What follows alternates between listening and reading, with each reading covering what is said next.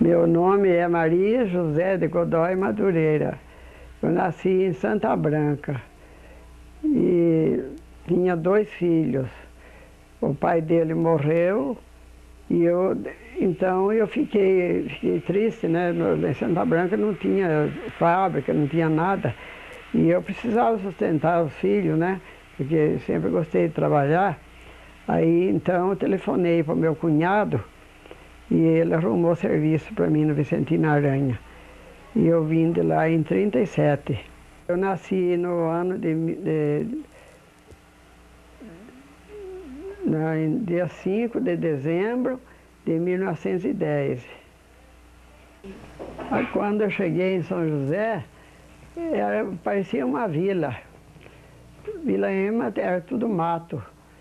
De um lado ali era pensão de tuberculose, do outro lado era uma chácara de um alemão.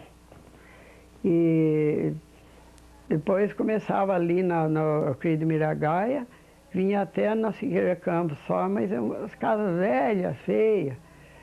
Tinha uns quatro cinco carros, táxi, só. E o carrinho do Benedito Vasconcelos, né, que ele ia para a chácara dele todos os dias, passava lá. A água não tinha, precisava, tinha um homem que vendia água, ele, ele vendia água no, no, no na carroça, água filtrada para a gente tomar, vendia para a gente. Era só água de poço que tinha. É, primeiro lugar que eu morei. Foi lá na Vila Ema. Foi lá no 9 de julho, junto com a minha irmã.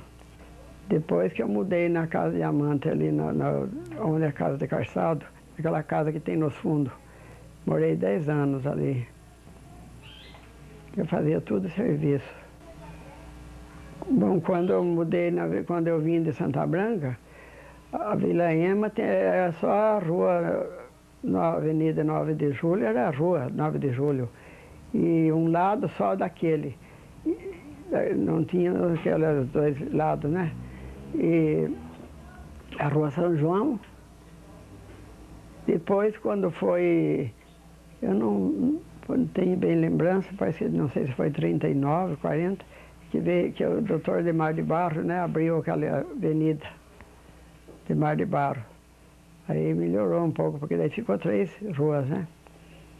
E era muito feio, era tudo triste, tinha pouca gente. O meu pai chamava, chamava-se Caetano José de Godoy. Ele morava lá no Sirimbura. E lá então era feio, mais feio mesmo. E tinha umas casinhas de, de, de sapé, de lado a lado, e é onde o papai morava era no lado direito, indo daqui, né? E ele trabalhava na estrada de Santa Branca, de Jacareí, daqui de São José até, até Santa Branca. Trabalhava aqui na Estrada Velha, no tempo não tinha viadutra nem ainda. Então, e ele, ele, ele, meu irmão Luiz e o José tomava conta da estrada, era cantoneiro. E, e daí, quando era para ir para Santa Branca, o, o chefe, o, o, fiscal pegava, punha no caminhão tudo e levava para trabalhar lá. E eu ficava um pouco com o papai, um pouco com a minha irmã.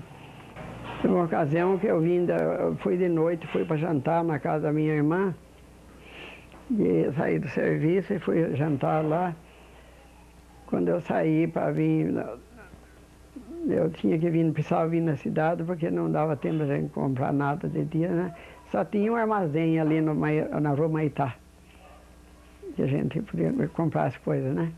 Eu vim de noite e eu vi o lobisomem, puta cachorrão preto, e as cachorradas tudo avançaram nele, e é, gritava, tudo gritava, né? E eu voltei para trás. Eu voltei, não consegui, não consegui vir. Era muito deserto. Eu conhecia o moço que virava lobisomem. Chamava José. Eu tinha um medo danado. Eu lembro quando, quando abriu a Via Dutra, foi uma beleza. Todo mundo gostou muito, né? E mesmo a Avenida de Mar de Barro, quando abriu a Avenida de Mar de Barro, facilitava mais, porque a gente desviava de passar lá no, perto do Vicentino Aranha, né, que tinha muitos doentes, e a gente vinha trabalhar, voltava de noite, tinha, tinha medo. Então a gente pegava bem, o, cabo de vassoura e enfiava na, debaixo daquela toceira de, de, de, de, cidrão e na volta né, tirava e levava. Lá tinha muita festa, tinha o que nós vinha ver, vinha com, papai, com meus pais, assistia muito a PL1, ali na, na rua 15 que eu, tinha o Paulo Lebrão, né, que era o primo irmão do Jacir, e o Braz, que tocava viola, né? Tocava viola, outros tocava sanfona, cantava, e tinha baile ali. E nós vinha assistir até, até tarde da noite, ali para as 11 horas, né? Depois nós ia embora. E na rua 15 era um sobe e desce da moçarada, né? Eles ficavam apreciando. Vinha, vinha, subia para um lado e descia para o outro lado. E, ficava namorando, arranjando namorado. Atrás da igreja. Tinha sempre aquele mestre ali, vinha de Mar de Barros, vinha assistir, né? vinha, passear, vinha passear aqui em São José. Ele era muito legal, né? E tinha uma quermesse grande ali atrás porque aquele tempo não tinha avenida, né?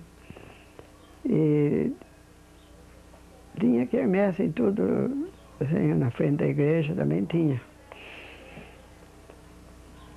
A sapataria Eduardo me traz muitas recordações. Quando eu passo ali, eu olho bem e olho lá para dentro, porque lá dentro que eu tenho recordações, naquela casinha que eu morei, né? Morei, criei meus filhos, e no serviço, pois ele no serviço, né, da Casa Diamante, e, e eu, eu, trabalhava ali também, né? Eu tenho muita recordação, porque o seu Henrique Diamante era uma pessoa muito boa, família Diamante. Era muito bem, queria muito bem. E eu tenho muitas recordações. Tinha uma menininha que tinha um casarzinho de criança, o doutor Eduardo, o doutor eh, eh, Reinaldo, eu, eu ele, aquele, o filho do diamante. Né? Quando entrei no Vicentino Aranha, eu fui primeir, primeiramente no, no, trabalhar na verdura.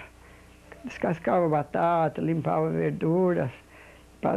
Meu cunhado trazia as batatas ali, descascava tudo, depois ele levava, meu irmão também, que era cozinheiro lá. E depois, em segundo lugar, daí, como eu falei, né, já. Depois eu saí dali e fui tra trabalhar no, na pensão Rosenberg. Da pensão Rosenberg, daí que eu saí e fiquei em casa, pedi emprego, né? E fui trabalhar no, no Henrique Diamante. Daí do Henrique Diamante que eu conheci o Jacir, Jacir Madureira. No momento que eu ia limpar o vitrô, ele, ele passava às 11 horas, né? Ele, era hora de, de, de, de, folga dele. Aí eu conheci, ele começava, perguntou para mim, eu posso falar com você? Eu disse, eu não tenho nada para conversar com o homem. Ele disse, é, mas eu preciso falar com a senhora.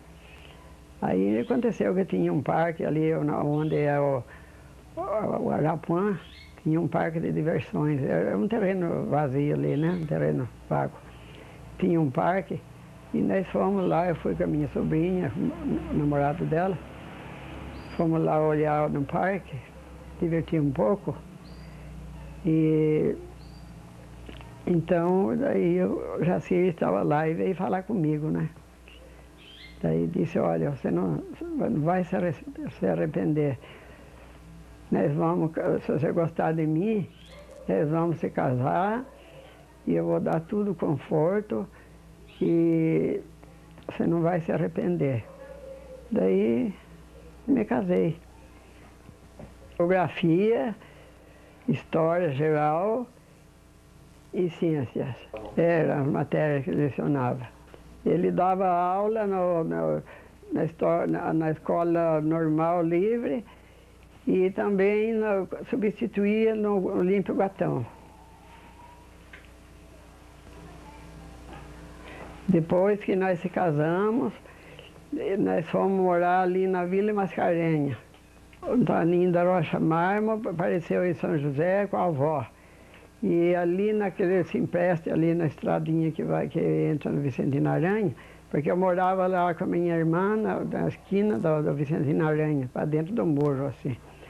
E então, ele, quando eu fui trabalhar, eu ia trabalhar, ele estava ali brincando, mas o brinquedo dele, ele fazia uma mesa de tábua, assim, cobria com, uma toalha, e pegava, punha um santinho ali e chamava as criançadas, das empregadas, né, os filhos das lavadeiras, e, e celebrava a missa.